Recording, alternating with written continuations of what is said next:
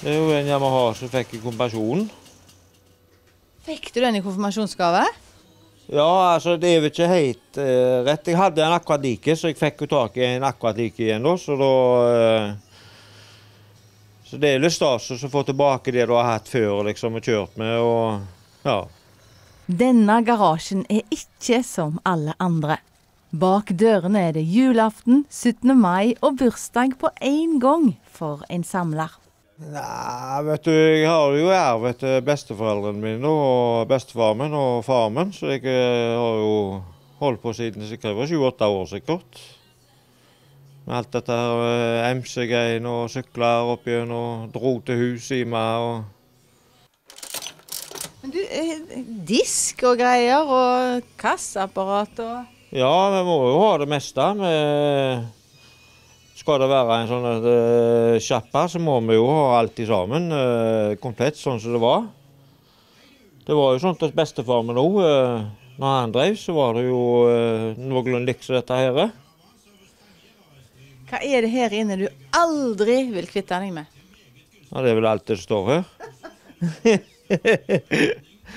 det er vel det. Det er vel alt det som står her, ja. Hva er det ikke som står her som du ønsker deg, da? Nei, det skal vi vel hente nå i helga. Oi, hva er det? Det er Yamaha, eh, Yamaha 250 her, nok et par stykker, så jeg og han skal kjøre og hente nå på Nannestad i Oslo. En hver. Nei, det er jeg som har kjøpt dem, så han skal være med på turen. Så vi blir vel gjerne mer med oss òg når vi først er på tur. To stykker liker jeg godt. Ja, ja, ja, må det. Du, eh, Er det ei kone inne her som syns dette er kjekt? Ja, det er, hun, ja, ja, hun er ikke så hun får, Vi får være i fred med dette her uh, samlemaniet vårt. Det er skrotnisser, sier hun. Og skal hun ha fred, så blir hun bare glad når du går ut i garasjen. Ja da, ja da, jeg bruker mye garasjen her. Jeg har jo alt, eh, TV og alt i sammen, så jeg eh, kan følge med på alt det sammen. Men du, det går en kar eh, rundt hushjørnet her og kikker nå. Det er naboen, det. Det er naboen, det, vet du. Så han, eh, det er bestekompisen av meg. eh, Som er rundt omkring i hele Norge med å finne på alt mulig.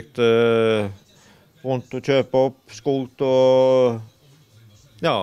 Hvordan har du klart å, å treffe en som er, er, er så lik deg? Ja, det kan du si. Og dere, det går ikke så mange av dere på dusinet?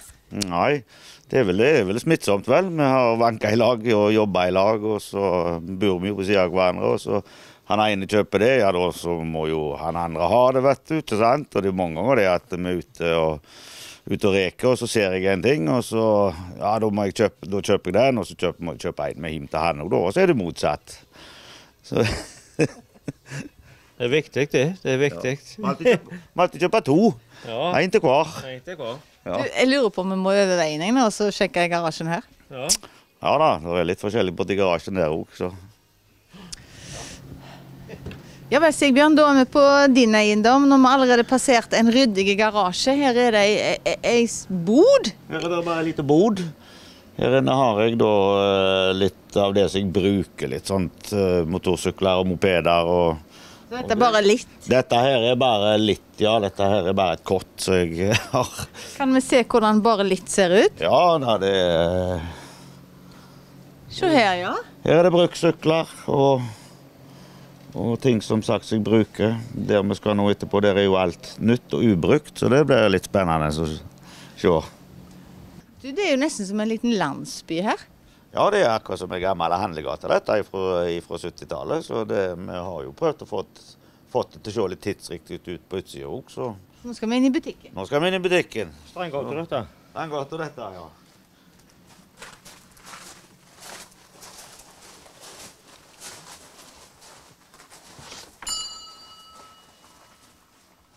Dette er jo makeløst.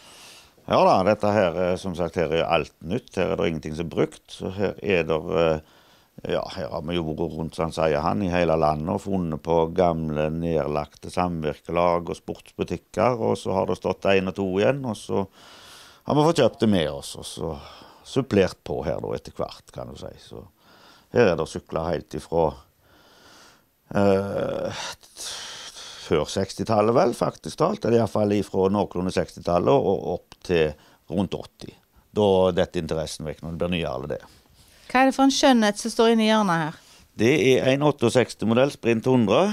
Den er helt sprell ja, ja, Den er jo ikke ny, da, vet du, men han har aldri vært solgt og aldri vært registrert. og, og Aldri vært på veien. Aldri vært på veien, nei. Kilometertelleren den står på 200 meter. Det er nok bare prøveturen øglene har hatt med han før de sendte han ut i butikken. Så det, den har jeg gått Jeg har visst om den i mange år og gått og sugla på den, og til slutt så fikk jeg kjøpt den. Kan jeg spørre om prislappen? i hvisker, tilfelle det er litt hemmelig.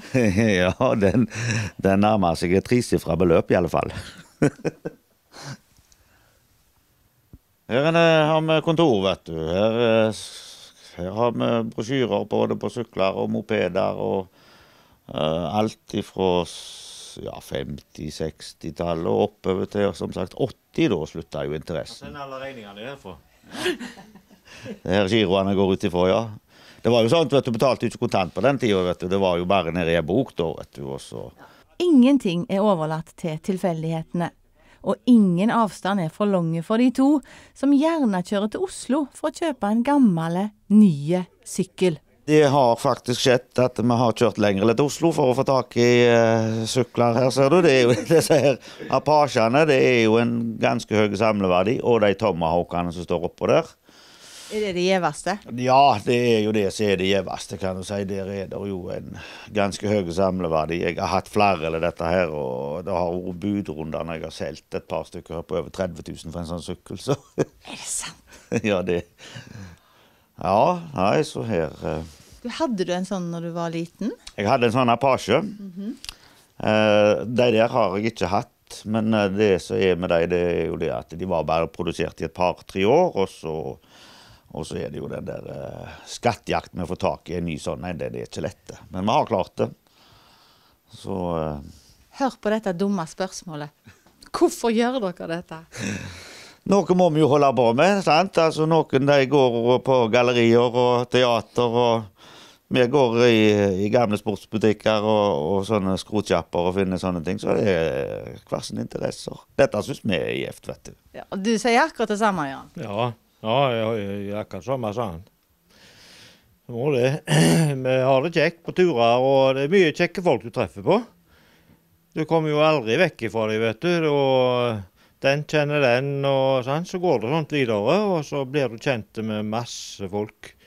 Vi kjenner jo folk rundt hele landet, så det Ja da, vi har Det fins flere sånn som dere. har- Ja, ja, ja, ja da. Vi har jo oppa, jo opparbeidet oss et godt nettverk rundt dette. og det er, vi, Som han sier, vi kjenner jo folk ja, i hele landet, spesielt bortigjennom på Østlandet og, og der, så driver vi det samme. Og, så det er jo folk vi omgås.